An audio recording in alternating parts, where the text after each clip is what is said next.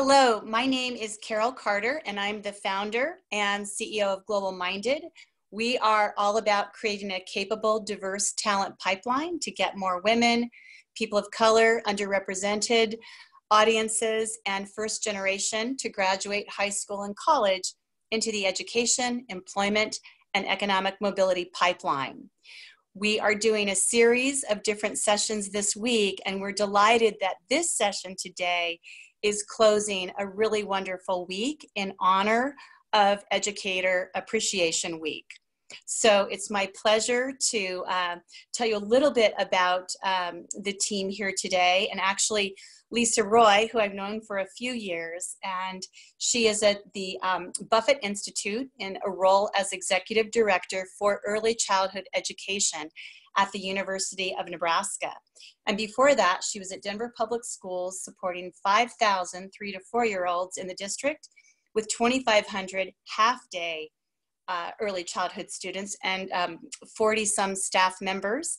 And she is a major equity pioneer in the space. And she is going to tell you a little bit about this session and the people that are assembled to really guide you during this time because during COVID 19, early childhood has been one of the biggest issues impacted. And um, I know that our team is going to share a lot so that we can navigate through all of that now. So, Lisa, it's my pleasure to introduce you, and I will wrap us up at the end and tell you about some programs next week from GlobalMindED on celebrating our graduates.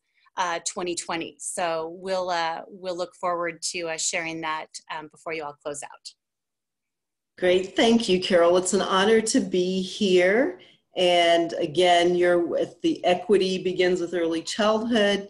Uh, we have Martha Kaufeldt with us, as well as Christine Thorsteinson and Heather Duncan. Uh, we are going to talk about some innovative partnerships that we have, and we'll be kicked off with Martha talking about the importance of brain development. So I'm very excited about this. We'll also talk about COVID and its impact on the work that we're doing and on children and families. So I will uh, talk a little bit about the Buffett Early Childhood Institute um, after our three speakers um, go on. But I did want to let you know I'm the director, not the executive director. Our executive director is actually Dr. Samuel Meisels, and you'll have to look him up. Incredible early childhood advocate.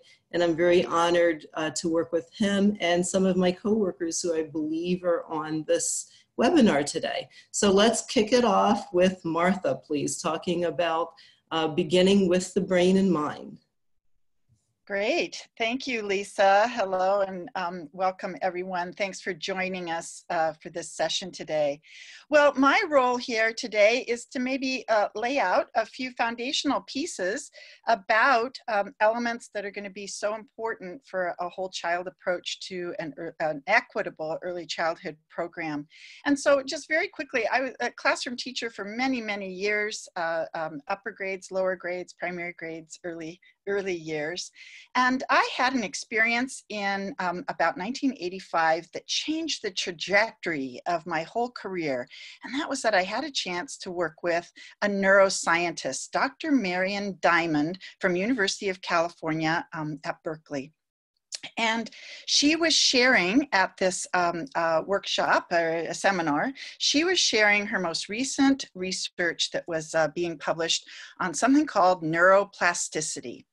And um, I, I, was just fascinated because at this session, she was sharing about that the research, um, uh, the research up until then hadn't uh, uh, given us a concrete evidence, but her research was giving concrete evidence that with experiences in um, multi-sensory experiences that in fact maybe we actually can um, influence brain growth and development especially in the early years.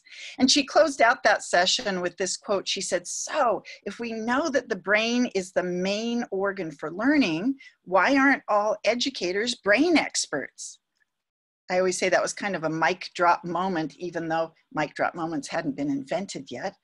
But uh, it just struck me that teachers and um, uh, educators and early years uh, caregivers, etc., really uh, had not been given a lot of uh, concrete information about how brains learn best. So I'm going to give us just a, a, couple of key points uh, as a foundational piece because you are going to hear about some absolutely incredible programs, early childhood programs, and you are going to see how they are absolutely built and designed with the brain in mind.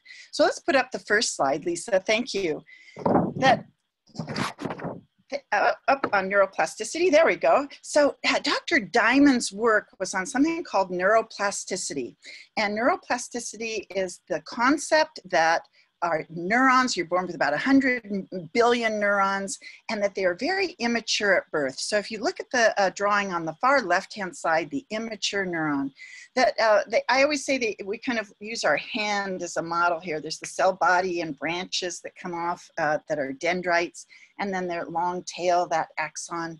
And neurons, uh, even in utero, but after birth, just start sprouting like mad. And you can see that second image there of a more mature neuron, is that with stimulation, with multisensory experiences, our neurons are actually prompted to reach out and grow and make connections with other neurons.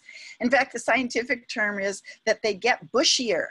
And so a, a, a, neuron that is developing is going to start looking like that second one with lots of dendritic spines that are reaching out and making connections. So one neuron reaches out and starts connecting with another neuron. Now look at the uh, slide on the right, because Dr. Diamond actually showed us this one back in 1985, that they were starting to use brain imaging techniques and we were able to see how brain density actually changes with um, um, these multisensory experiences. So that first image is the density of neurons in the cerebral cortex, the thinking area of your brain, on just a two-week old infant. So you can see that these are very immature neurons. But look what happens already by the time a child is two years old. Look at the interconnections. Look at all of the dendrites have grown and reached out and connected. And so um, with multisensory experiences in a safe and secure environment, we start getting this growth. Now, Dr. Diamond right away said to us that, um, you know, 20 and 30 years ago, we kept saying, oh, all these connections are done in just the first couple of years or by age five. And now we know that our brains continue to make these connections and grow and reach out and connect um, all the way into adulthood. Yay. So, uh, but we certainly know that near 90% of the initial connections are going to happen in those early years. So uh, let's look at the second slide. So what are the key elements then that are going to uh, be needed to be in place to promote the most amount of growth and connections in a young child's brain. And so first of all, we know that it has to be a safe and secure environment. And then we know that, of course, uh, their nutrition needs have to be met. We knew that they, we certainly know that they need to have big body movement and even rough and tumble play as well as organized maybe exercise. They need multisensory stimulation the brain seeks out novelties, so things that are curious and things that uh, might be interesting to explore. And we know the brain likes a good challenge, so sometimes brains really like to work on hard puzzles and things uh, for a, a long time. We know that opportunities to just have discovery play and not have um, rigid schedules, just a chance to mess around with things. And of course, all of this uh, needs to happen when children are in safe and uh, secure and in relationship with other students and with adults. And of course, all of this is uh, helping to promote language development. Now, you can already imagine and see that we have many students that arrive with some of these criteria, the essentials, not available to them in their home life. And so our early childhood programs just become um, a place where we need to address the whole child and hopefully promote lots of brain growth and development. So keep these elements in mind as you hear about these three fantastic programs because these are the equity essentials to build young brains. Thanks, Lisa. That was perfect, Martha. Thank you. And now we'll hear from Christine and she'll talk to us about her work in Silicon Valley. Thank you. Thank you, Martha. Great. Well, I am just so thrilled to be here today to share a little bit about our program, the, the Big Lift. Um, and I'll have to tell you the story. I started out as a, my professional career as a high school teacher. And I remember doing one placement in a kindergarten classroom, and I walked away thinking, oh, I'm never going there. That I don't know what's going on. And you know, little did I know that later in my life, my path would take me around to focusing entirely on early education and realizing and discovering the amazing things that are going on in those little brains, like Martha just described. Um, so Silicon Valley, as many of you know, it's an area of tremendous wealth, tremendous innovation, but it is also an area of tremendous inequities and great need. Uh, and in fact, right here in San Mateo County, we find that about 45% of our children are not ready for kindergarten. And that gap persists for them. And we have 41% of our third graders who are not reading at grade level. And we know that third grade reading is a real indicator of future success in high school graduation. So we use that as a marker. And our local data just confirms what the national data has been telling us for a while, that gaps that exist at kindergarten persist to third grade, and then it becomes very, very challenging to reduce that gap and for those children to catch up by the time they graduate from high school. And so for us here in Silicon Valley, this was a matter of equity. It was just not okay that that many of our children, and in fact, the numbers are significantly higher when we look at our children of color. And we said, this is not okay. We cannot have this here. We need to take steps to disrupt this process and disrupt what's happening before kindergarten. And so the big lift was started. And the big lift uh, started back in planning in 2012, implementation in 2014. We're um, heading into our sort of fifth year of our proof of concept phase with it. And it is a bold social venture that leverages the power of collective impact to bring together over 300 different partners to focus on giving kids the right start to their education and their foundation. So when we started creating the Big Lift, we knew that children exist within a complex system. And so that simply focusing on one aspect would not be enough to get the results we were looking for. So we created a multi-pronged program that would take into account a variety of different factors and support children in all aspects. So what we did is we have four pillars. And if you want to go to the next slide, Lisa, that would be great. So we thought we needed to work at a whole child perspective. So we have four different boosts or pillars that we focus on. So the first I'll just touch on briefly is attendance. And we needed to, we knew that it was really important for kids to be in school if they were going to learn. And so we use positive messaging and reinforcement to encourage families to get their kids to school and to school on time. And we start with that messaging back in preschool so that they're in a regular pattern by the time they get into kindergarten and then on to third grade. Uh, we do family engagement, uh, and we know how important families are, particularly for preschoolers. The family is really their center of their world. And so we needed to partner and support our families for them to be teachers just as well as, as their classroom teachers. Um, so we do fam a variety of different strategies for family engagement. We understand that we needed to address summer learning loss and that for the kids who didn't have the opportunity to go to um, fancy summer camps and enrichment programs, that the, what was happening over the summer was not okay with them. So we provide an inspiring summer program for four weeks that provides academic supports as well as really fun, active, engaging STEM activities. And then our last boost was providing high quality preschool programs. So we feel it's really important for all of our kids in San Mateo County to have access to two years of high quality preschool. So we have expanded capacity. We provide slots for about 2,000 children in San Mateo County to attend preschool. Uh, and we also have a team that works on making sure that it's high quality preschool and so that kids are getting what they need. So when we put all of those things together, that's the big lift. And that it is a big lift. And that's why it takes so many different partners. Um, and when we think about how does this work? How can we possibly manage this and get it to succeed? And so far, we are seeing success. We are seeing an increase in our kinder, kindergarten readiness rates, an increase in our quality of our preschools. We have achieved significant increases in attendance within our schools. The real key to success for us has been the strong leadership. This was um, an initiative that was done um, in partnership with three backbone agencies. So we work with the foundation itself, with our county, and with our county office of education. And so collectively, they have had the vision to make this happen.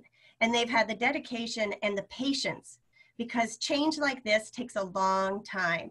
And oftentimes, foundations are not patient with results. So having somebody focus on it and allow us the time to achieve these results has been really important. And it's allowed us the time to build the trust. So we've built trust with these organizations and now we can work together to support our kids and families. And so that's the story of the big lift. Thanks. Great, thank you, Christine. Appreciate it. And now we'll hear from Heather, and she'll talk to us about the collaboration for early childhood. Thank you, Lisa. Um, I feel like it's really great that I followed these two ladies because what they laid out just leads right into what I'm talking about. Um, I am Heather Duncan. I'm the Director of Early Learning at the Collaboration for Early Childhood, which is a very small but mighty um, nonprofit in a township just outside of Chicago, like touching Chicago in some spots. That's how close it is.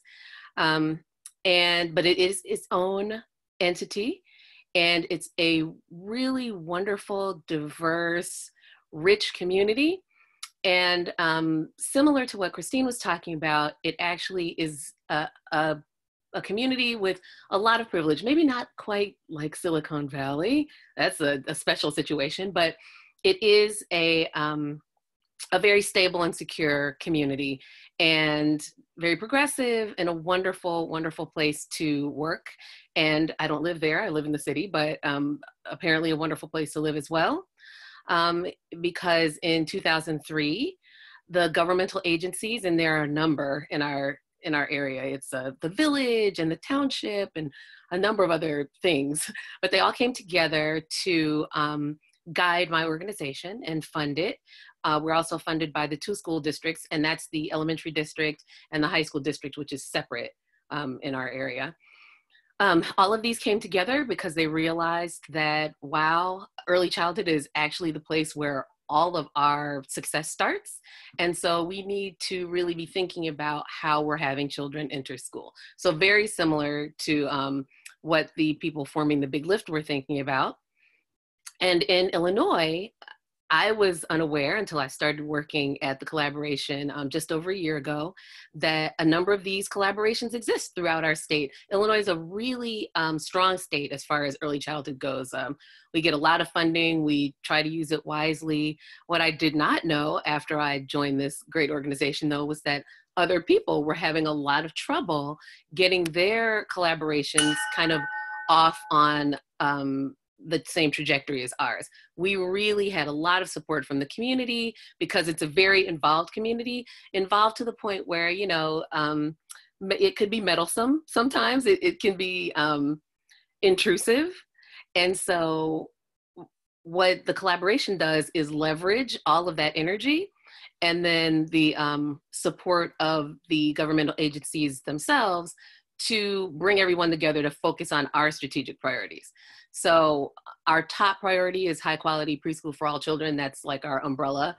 But then professional development for all of the early childhood teachers and providers and administrators in our area and a neighboring community called River Forest. Um, parent information and su support and developmental screening. So it grew from a, a focus on um, preschool into those other areas. The parent information and support focuses on children zero to three. Developmental screening focuses on any child um, under kindergarten age so we can make sure that everyone is actually ready for kindergarten. The thing is, all of these areas have been historically separate and what the collaboration seeks to do is to align all of those. And as I have come into the picture, to align them a little bit further. Um, I taught mostly preschool, but preschool, kindergarten, first grade um, for 21 years until 2018 when I joined the collab. And it, I realized some, maybe in the middle of my career, that there were disconnects. There were disconnects between me and the next grade. There are disconnects between the families and the school. And once those disconnects are smoothed over, then you've got what should be a, a wonderful track for children, at least up to third grade, which is where my expertise runs out. But if we can get it all aligned up until then, then we should be able to make the connections between third grade and fourth grade and beyond. So, my goal um, and one of my main jobs at the collab has been to leverage all the positivity that happens in our area um, and in our community to uh, galvanize folks around the idea of best practices that that create a collaboration from for families all the way through schools.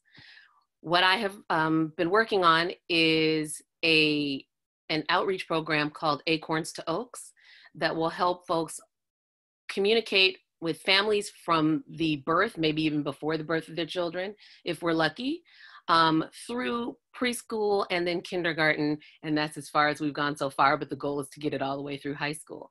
What we want to do is make sure that there are certain conversations, um, certain language, certain understandings that families have, that providers have, that then kindergarten teachers have, and on and on and on, so that um, families and children are all on the same page and moving children toward the success that they need in kindergarten what we found in um, our studies, there's a, a, new kindergarten assessment that's been um, happening in Illinois for maybe the last three years called the Kids Assessment. And similar to what was found in Silicon Valley, fewer than 50% of our kids were actually deemed ready for kindergarten. Now, those of us who are early childhood experts, um, a lot of us take those numbers with a grain of salt simply because a lot of us know that in some cases, kindergarten is not really ready for children. Kindergarten has moved far, far away from the play based, um, really wonderful um, experience that a lot of us that are adults remember into a much more academic and developmentally inappropriate place.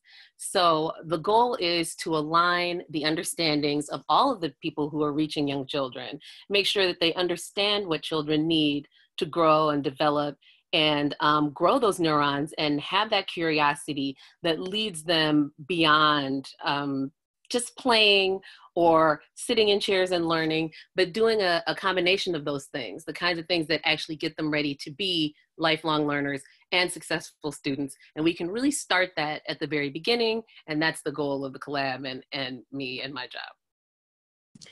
That was awesome. Thank you so much, Heather. So we will go to the next slide.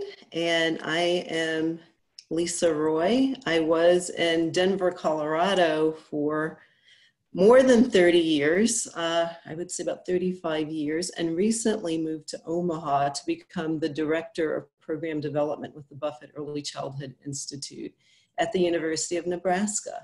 If you could move to the next slide, please. Thank you, Lisa. So I was hired specifically to oversee a unit that includes work on what's called the Superintendent's Early Childhood Plan. And it is funded by mill dollars in the metro Omaha area. There are 11 school districts. However, our work concentrates on six of those that have schools with the highest levels of poverty. And as you can see from the description, our goal is to close the what we would call equity achievement gap, opportunity gap for children from birth to third grade. I have several of my coworkers uh, on the webinar, as I mentioned earlier today, and they do a myriad of things.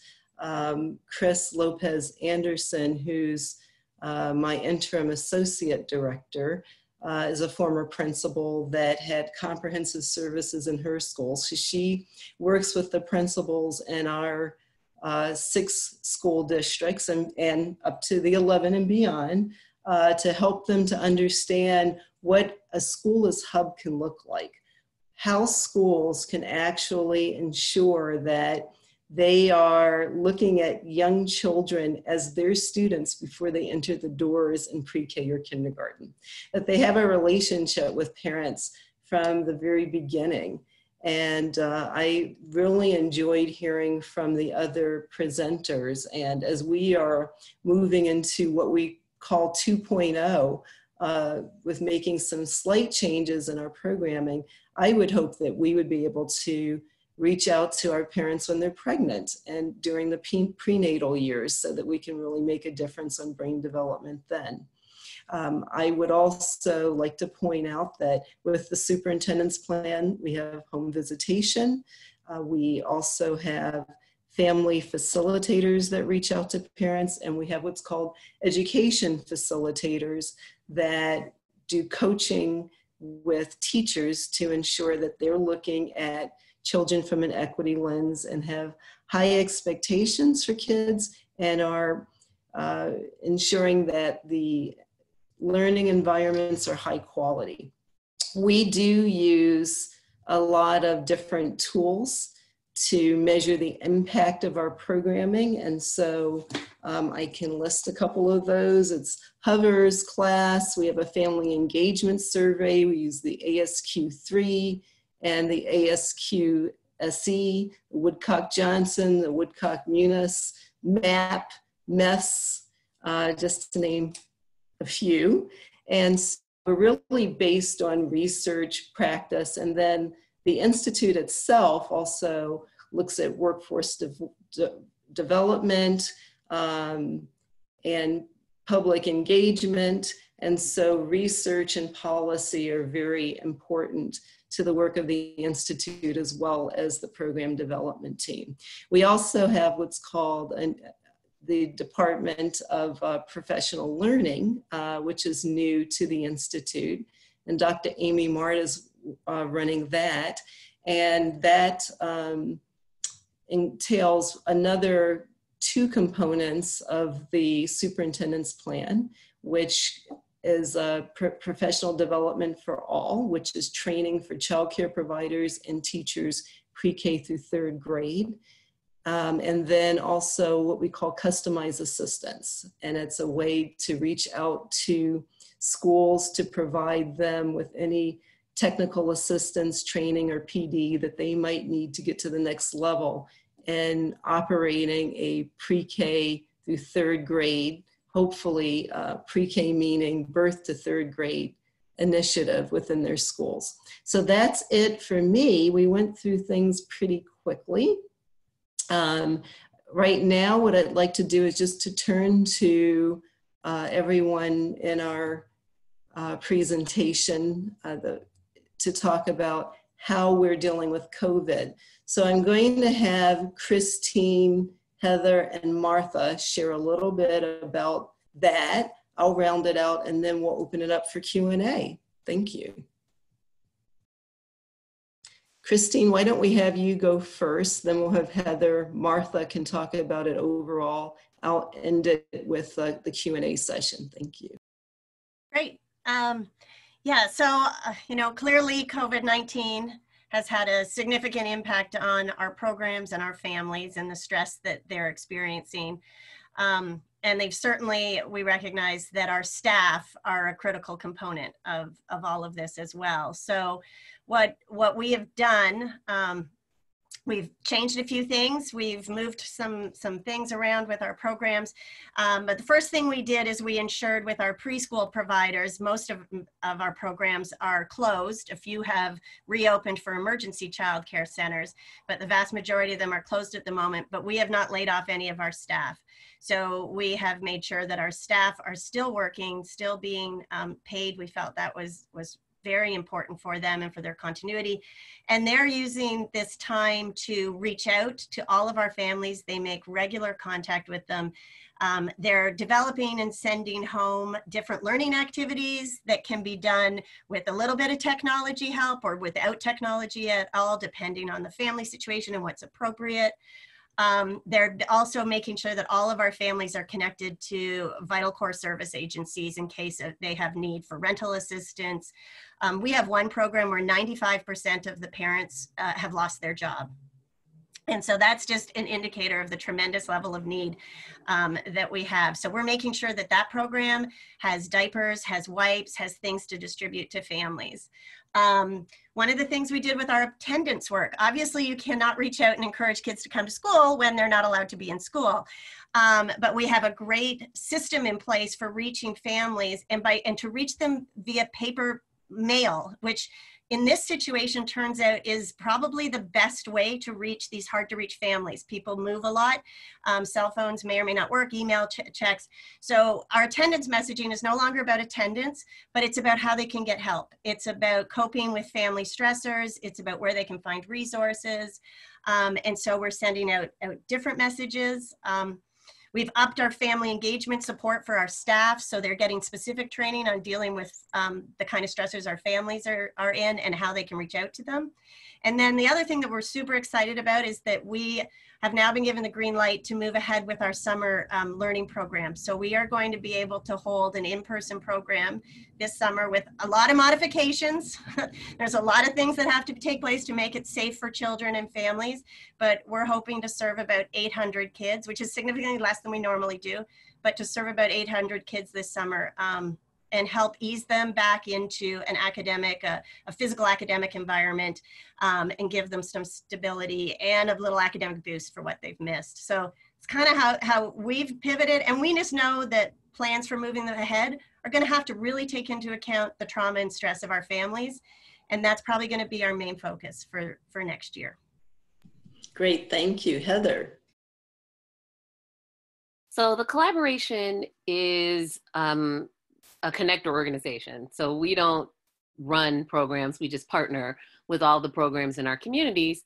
And so uh, we found that at the beginning of the, the crisis, that our main job was connecting all of the people that we touch with the resources and the information that they needed. I felt like for the first couple of weeks, we were just kind of triaging, just like putting our fingers over holes in information dikes all over the place, trying to make sure that everybody was getting what they needed.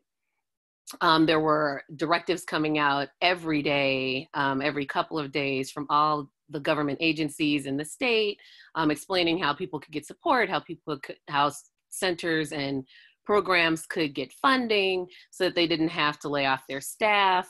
Um, for our public schools, there was a lot of um, scrambling to make sure that children could um, have contact with their teachers, uh, making sure that folks had technology, and if they didn't have technology, that they had access to um, some way to get their their materials.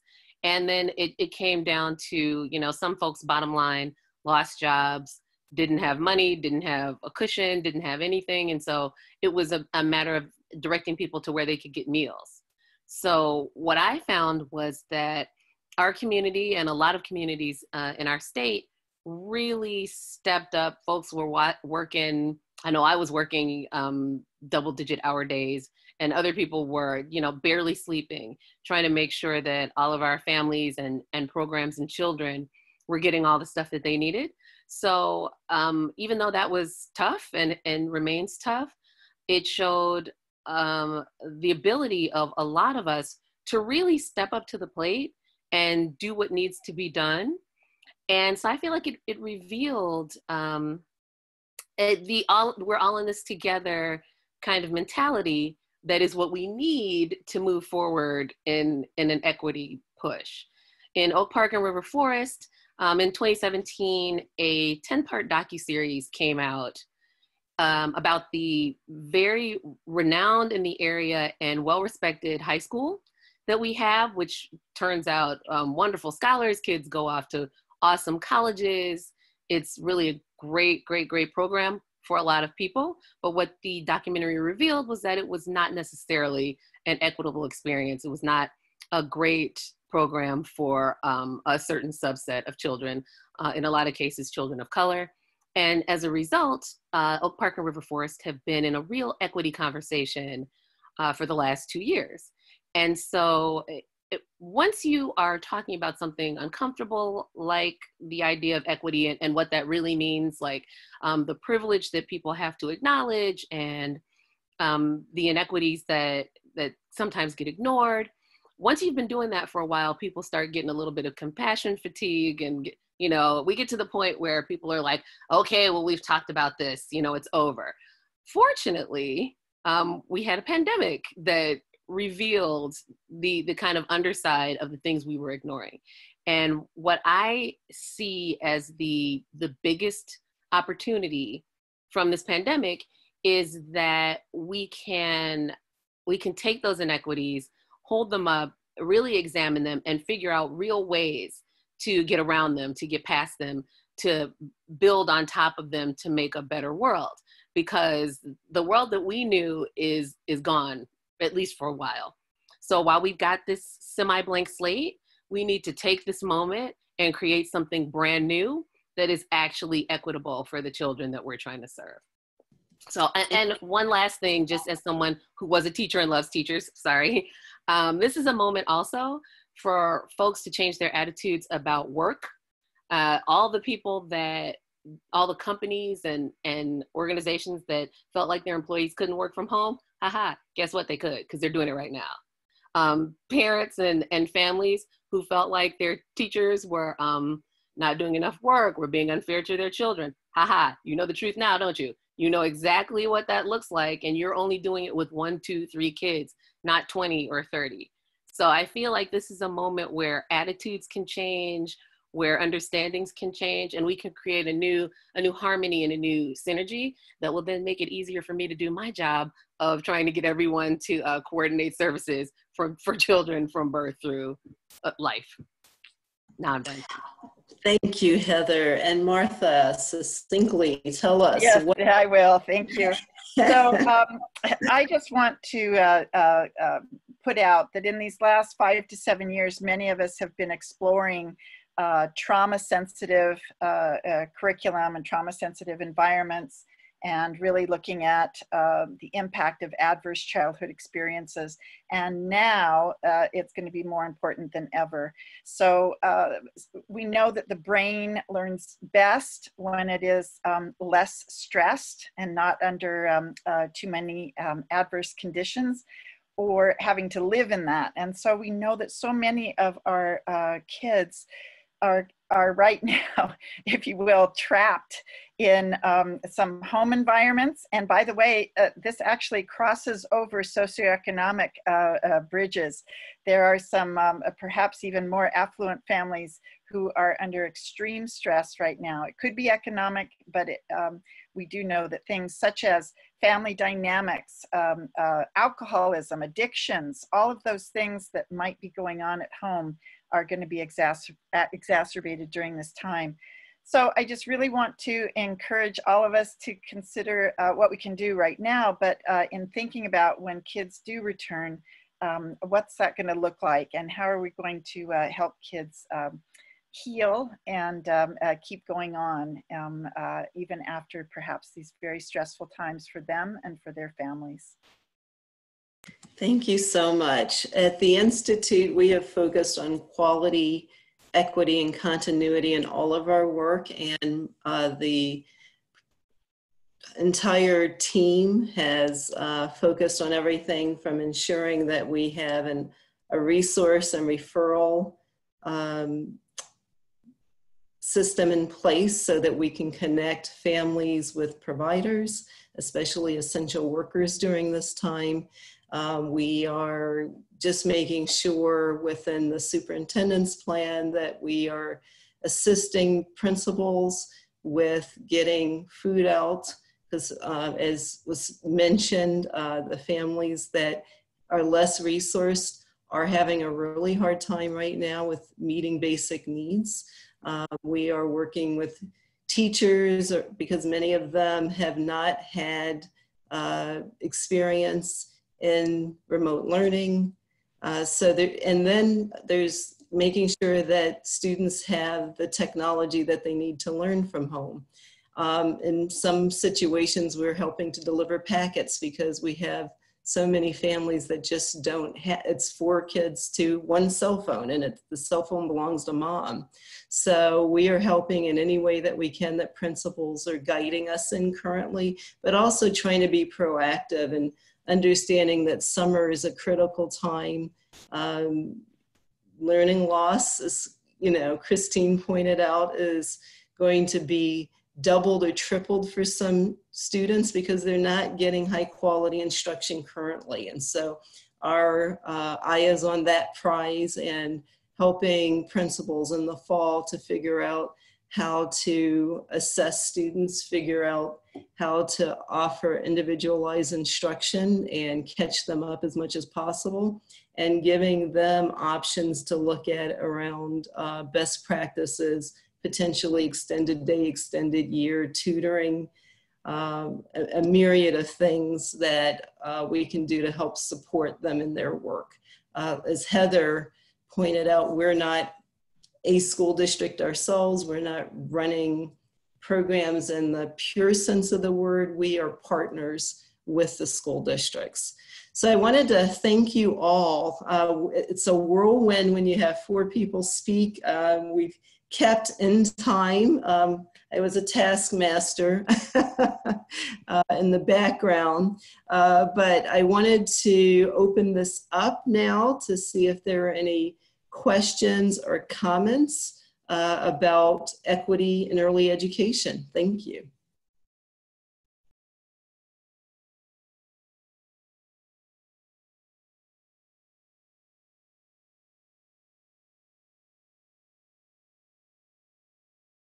You all can unmute yourself, or several of you have been on this before, so you know that you can put your question in the chat. I have a question. Can I ask, or should I put it in the chat? No, that's perfect. Um, well, uh, hi, Lisa. Um, so good to see you. um, so sad that you left, but anyhow, um, in um, Denver and um, in the metro areas, many early childhood uh, have closed, you know, closed. And I am connected with the many directors, and they are worried about that. They may never come back because of, uh, as you know, early childhood is, is not supported by the state, you know, like it's not like K through 12. It is through CCAP if you're in those type of areas, you know, and um, and this has been affecting very a high quality, expensive early childhood that their the parents have lost their jobs and stuff. And of course, if it's going to impact them, it's going to impact many low income families. Um, so anyway, um, I have been trying to open up early childhood for several years, but because of the facility, uh, lack of facilities, um, I couldn't do that. But now here I have this wonderful opportunity. I bought a bus um, and, and I'm converting it to early childhood. So, and I'm taking it to the low income areas to um, uh, you know, to support those families, you know, uh, with uh, mobile ECE education.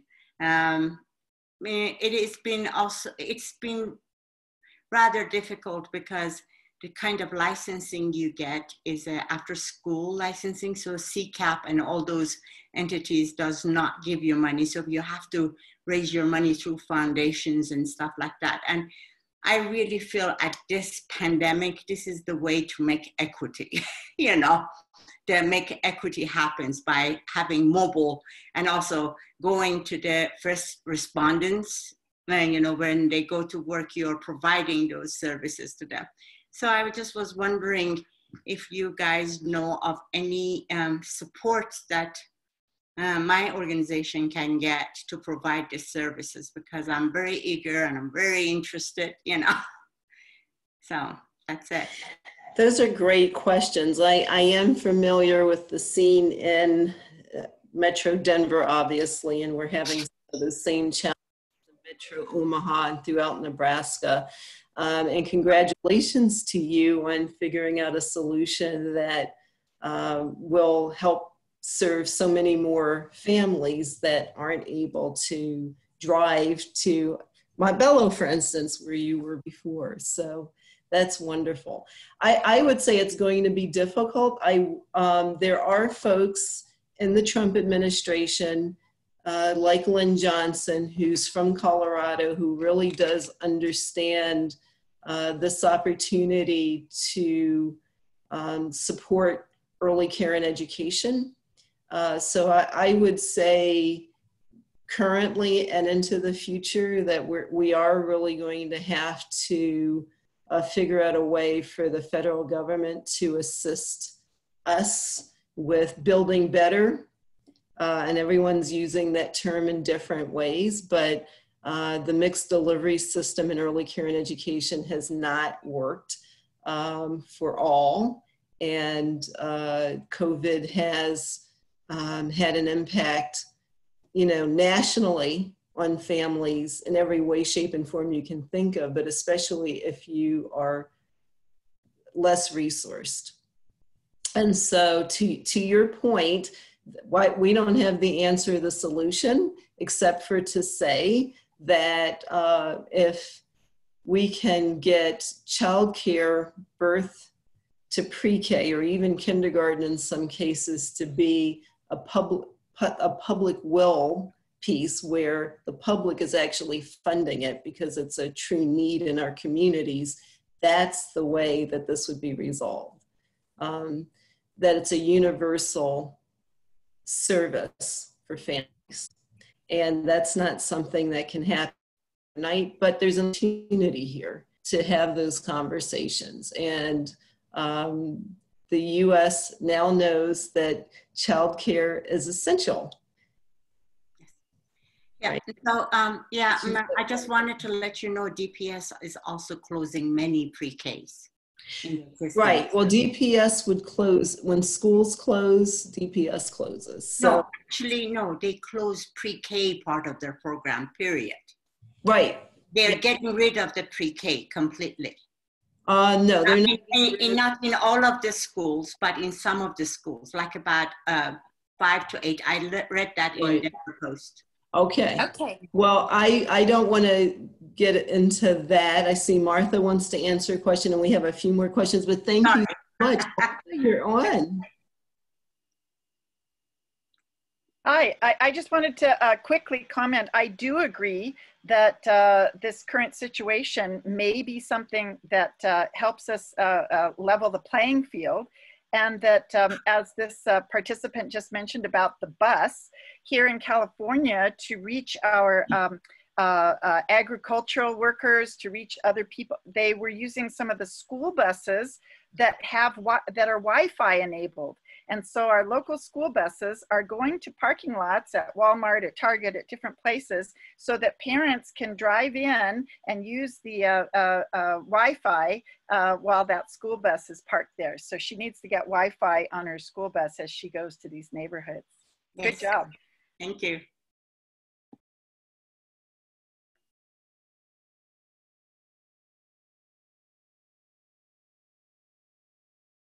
Lisa, you're muted. Uh, I did want to answer the question about what schools might be doing in the summer and into the fall. At least this is from tons of webinars and lots of articles that I've been reading. Um, some schools might actually open, but they might have 10 students per classroom and practice social distancing. The teacher stays with the same students. Um, they'll the cleaning procedures, of course, will change on what they do within the classroom and on the playground. They're expecting older students to help with that, uh, as you could imagine. Um, also, obviously, they might continue with online learning uh, in the summer as well as potentially in the fall. And so professional development opportunities for students to, for teachers to understand how to better utilize uh, online platforms or some things that are going on, including in Omaha, Metro Omaha. And then finally, um, couple of things staggering. So students going Monday, Wednesday, and, and the other students going Tuesday, Thursday with potentially having Friday off. Uh, might be one way that if the pandemic continues that schools might open in the summer for summer school and or in the fall. And then uh, there's conversations about what to do based on subject matter, whether it's literacy or math. And um, so I, I would advise there's tons out there. Uh, John King, um, you know, who was with the Department of Education. I think he's been on almost every webinar I've listened to for the past month. So I, a lot of information is out there about what could happen, but everyone does know that there's going to be a gap and that we're going to have to figure out ways to address that. So thank you for that question. Let's see if there's anything else. Uh, people are posting resources. Thank you so much. Um, any other questions from anyone else?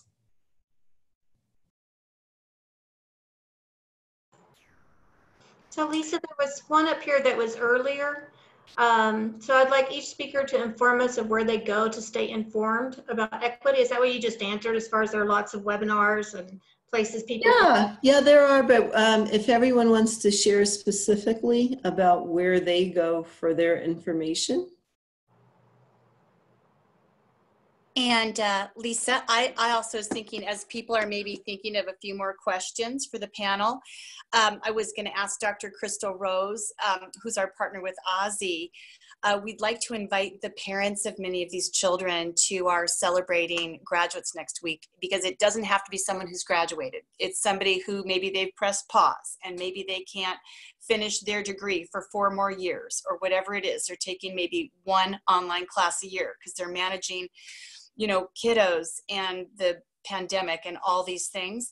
And so, Crystal, would you just um, jump on for a second and just share because she's planned an incredible um, event. We have a great event all week, but she's the culmination, and it's really awesome. So, Crystal, go ahead as people gather their questions.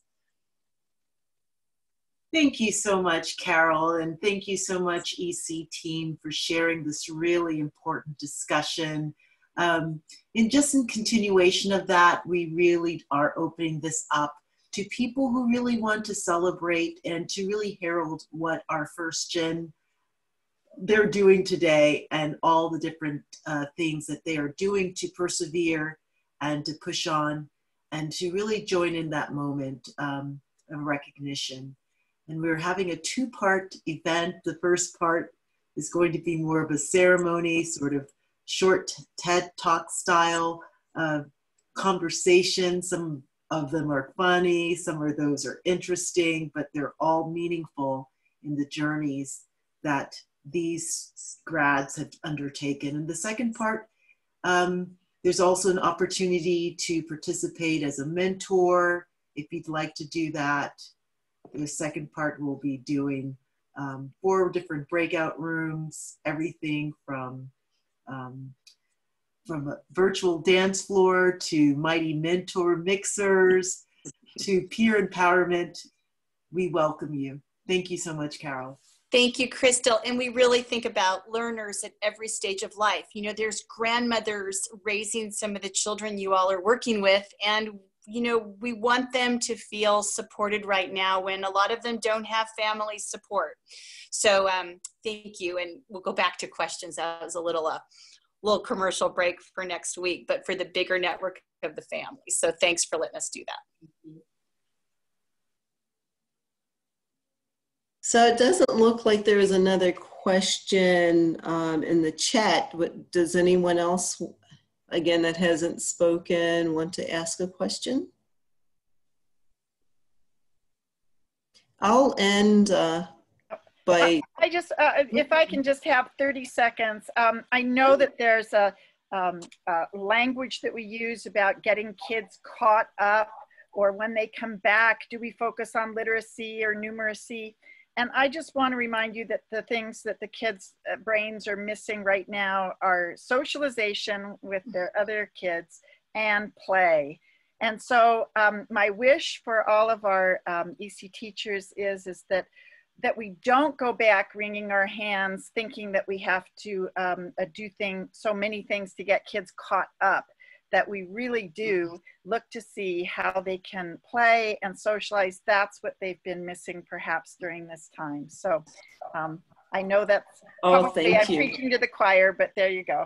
Martha, we totally agree with you. And, and again, for those of us who are working with children up to third grade, that early childhood is prenatal to third grade, we do need to consider how to support students around language and literacy. And so totally agree with you about how to do that in ways that promote a joy in learning. That's mm. critical. So, uh, one of the other things that Carol uh, pointed out in a within the group chat is just the silo piece, and I think that that's important too. I mean, uh, whether we're talking about uh, childcare, preschool classrooms, the K through three system. Um, this again is an opportunity for us to think about how to break down silos that have been there since the inception of uh, all of these systems and how how do we again help folks to understand that all teachers no matter what age they're teaching need a livable wage right mm-hmm. we make sure that all parents have the supports that they need no matter what type of job they have or their income. So all of these area we have human services here we have you know um, education here and and not a lot of mixing going on in consideration of how to support families and that's what's been obvious i think with our pre presenters today.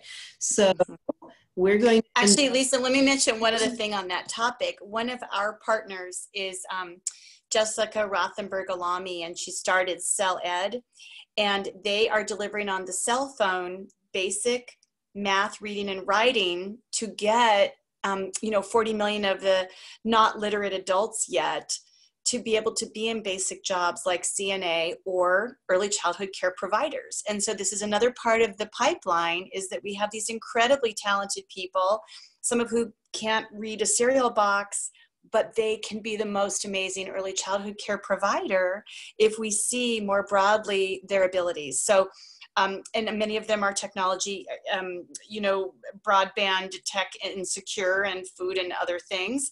But this is on the cell phone, and so it's a really great. Um, we'll put that into the chat. Um, I just think it's one of the very best um, resources, and she's doing a million person pledge she's launching in the next couple of weeks to get a million of these folks right now at a time like this during COVID. And she's also got all this COVID response in Spanish and everything. So I think, um, you know, we just want to resource you all with as many different kinds of partners to be able to provide this bigger ecosystem to feed the, the, the and nurture the people that you need to do a good job, but maybe not from the usual places. That's great. Thank you so much. So, and rounding out, if it's okay, I was just going to have Christine, Heather, and Martha maybe mention one thing that you might have uh, thought about as a result of participating in today's session. And we'll start with uh, Martha, Heather, and then Christine. Great. Well, I already kind of put in my last two cents, and that is, uh, again, um, that uh, uh, this is going to be a time that if you, if, if as a teacher, as a provider, if you don't have a lot of background yet in trauma sensitive uh, environments and uh, uh, working with uh, children in adverse, experiencing adverse conditions, that this would be a great time to explore that. And there's lots available just for free on the web and webinars, etc. So um, stay healthy and take care of yourself. Thank you, Heather. Uh, yeah, to piggyback on Martha, we have to be um, filling our vessels as well. We, we're worried about the kids, but we have to be worried about ourselves too. We got to put on our um, mask before we can put the masks on the people next to us, right? So there actually have been a number of very cool webinars. Um, I attended a wonderful one last week that was very much needed about mindfulness um, about slowing down because there is just so much coming at us. Um, getting our own own heads together so that we can be clear and really uh, help our kids and families as we head back into this world. And mm. also connecting with each other. These webinars, webinars have, you know, we've been doing a lot of them the last couple of weeks, but um, it has really been wonderful for me to meet um, a bunch of people from across the country that I might otherwise not have gotten to meet. So let's all um, share our information, uh, make sure we stay in touch, figure out who does what you need, and because I'm I'm going to be reaching out to a bunch of you guys to find out, you know, what I can get for for the collab from you. Thank you, Christine. Great. Yeah, I mean, this has been really inspiring for me listening to the other panelists. I've taken all kinds of notes of things that we can bring back and integrate into, into the big lift. Um, and one of the last things that I, I, wrote down when I leave this call, I go straight to a call with all of my um, providers for the summer learning program. And we're going to be talking about our goals and how we're going to structure that program uh, to make it safe for kids and give them what they need. And I just wrote like, our goal this summer is going to be just to promote a joy of learning, helping them and took that they need the play and socialization it may take them the full four weeks to get back into the academic routine to get those goals. So I wanted to get, we took those words, I'm going to take them directly from this to, to those folks to reinforce.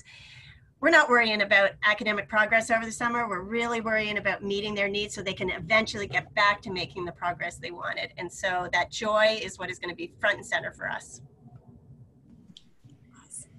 Well, and I have learned so much from all of you. I will be getting on your websites and stealing as much as I can to uh, incorporate into some of the work that I am doing. Um, really appreciate the opportunity, Carol, to be on this panel. Um, again, thank you all. And what I hope and wish and pray is that our families have enough to eat that every child has a safe place to be and sleep and play, and that uh, when they are able to get back into school or into childcare, that they are welcomed with open arms. Awesome. And Lisa, on behalf of Lisa Wyckoff, who's our, our content coordinator who's worked with you all, um, we just want to thank you and um, all of you for making time and all the attendees with so many competing priorities. And for every mother, happy Mother's Day this weekend.